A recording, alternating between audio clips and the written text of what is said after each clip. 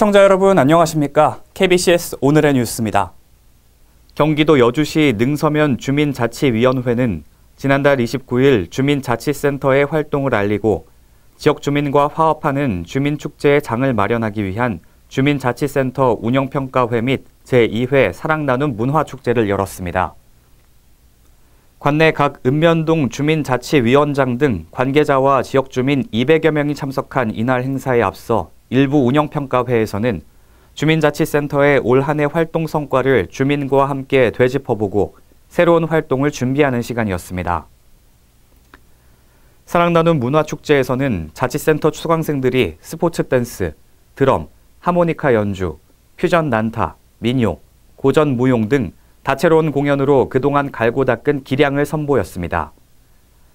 아는엽 주민자치위원장은 2019년 한 해를 마무리하는 운영평가회 및 사랑나눔 문화축제에 참석해 주신 모든 분들께 감사드린다며 능서면 주민자치센터가 앞으로도 다양한 프로그램으로 건전한 지역 문화를 이끌어가며 지역 공동체 형성과 주민 화합을 선도해가는 역할을 수행하겠다고 말했습니다.